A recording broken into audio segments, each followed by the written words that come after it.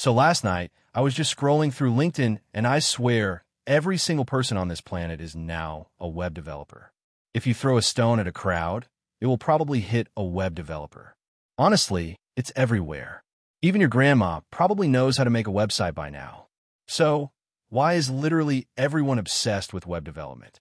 You know, there was a time when knowing how to make a website would get you all the girls. But now even a 10-year-old is flexing their HTML knowledge. Part of it makes sense because web dev is super accessible. You don't need a fancy degree or be super smart. Just you and a tutorial on YouTube. But the thing is, just because everyone's doing it doesn't mean it's all sunshine and unicorns. Let's talk about this weird obsession of people with web development. First reason is, of course, because of its accessibility and low barrier to entry. You just need a laptop, Wi-Fi, VS Code, and a live server extension installed. You're good to go. Next, complete a seven-hour tutorial, build a to-do list, and congratulations. You are officially a web developer now. I'm not exaggerating this. This is the all you need to follow to become the member of the tribe. Next reason is the money and career potential. Let's be honest, web developers can make good money, even when they're just starting out. The demand for web developers is good, and so is supply. Companies everywhere need websites, so demand is always out there. They have the option of freelancing, jobs, so people see web dev as a gate to enter into tech.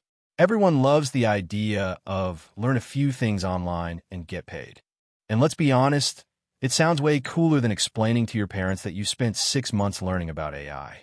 But because of the competition in AI, the money and career potential part is slowly fading.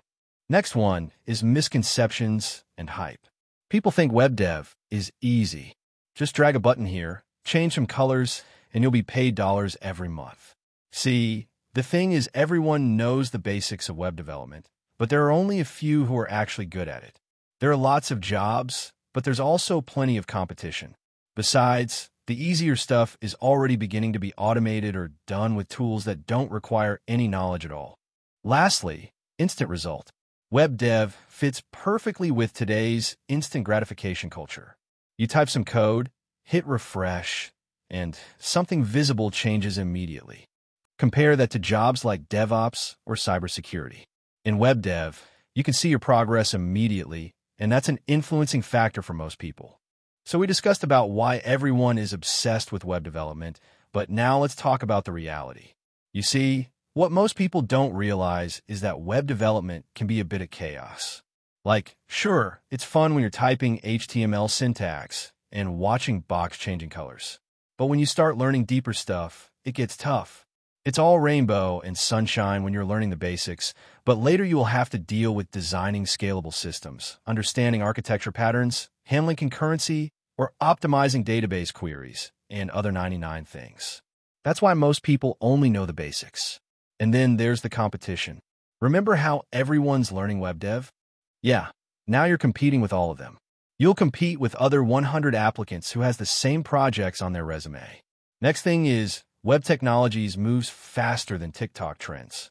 One day it's React, next day it's Next.js, and before you even finish your course, there is this new JavaScript framework watching you from afar. A lot of people get into web dev expecting instant success, but the truth is getting good takes time. You don't just watch five tutorials and become a senior engineer.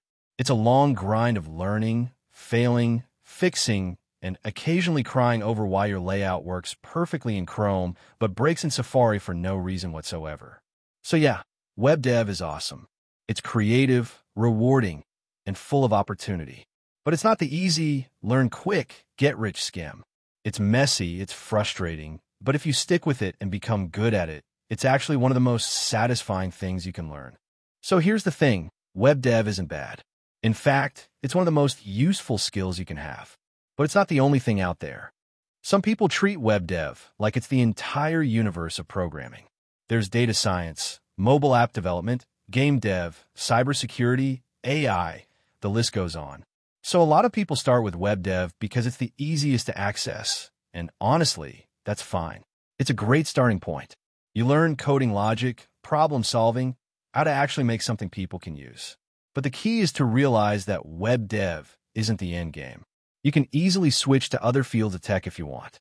There's more to explore. And once you get comfortable, you might discover you love backend more, or mobile apps, or AI, or cloud engineering. There's a whole other things out there to try. So yeah, everyone's obsessed with web dev, and honestly, I get it. It's accessible, it's creative, it pays well, and it's one of the easiest ways to feel like you're actually building something. But just remember, the internet makes it look like everyone's out here living their dream life, when in reality, half of them are unemployed. What matters is finding something you actually enjoy enough to stick with. Anyway, I'm curious.